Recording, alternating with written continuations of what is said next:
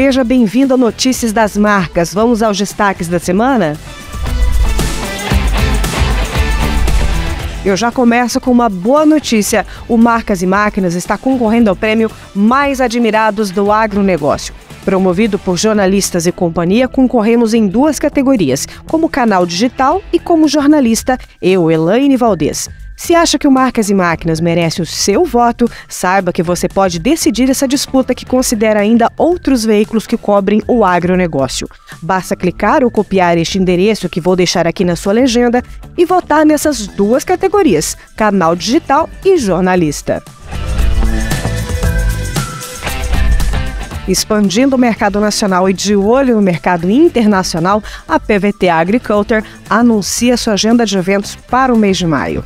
Depois do sucesso da AgriShow, é hora da PVT participar da Nampo Harvest Day 2023, feira que acontece na África do Sul, de 16 a 19 de maio. O objetivo é tornar a marca cada vez mais conhecida no mercado externo.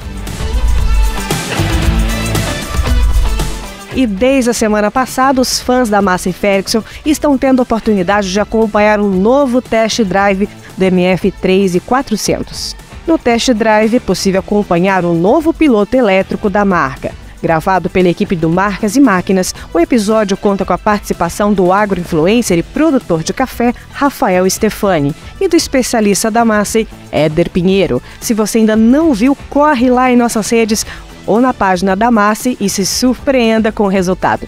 O Notícias das Marcas vai ficando por aqui. Até a semana que vem. Tchau, tchau.